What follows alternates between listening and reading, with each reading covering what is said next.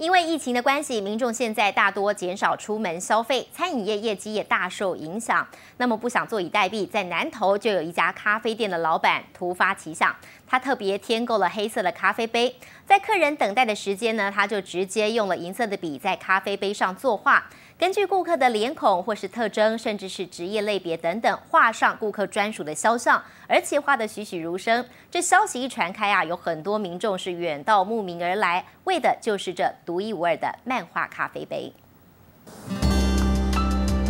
专心在咖啡杯上画下客人的素描，每个细节都不放过，最后写下有趣的标语。这双巧手来自南投一家咖啡店的老板，很像哎，口罩也遮不住你的美。客人被咖啡杯上的撩妹语录逗乐，笑得合不拢嘴。受到疫情影响，南投这家咖啡店的生意下滑两到三成。年轻老板突发奇想，添购了可以作画的黑色咖啡杯，现场就在杯子上画下客人的 Q 版人像，也不忘写上防疫标语，提醒民众防疫的重要。自己很喜欢画画，就在那个杯子上面画一下那种客人的 Q 版，然后上面写一些我觉得还蛮有趣的句子，然后跟防疫的观念去做。结合，那我发现这样客人其实看到都还蛮开心的。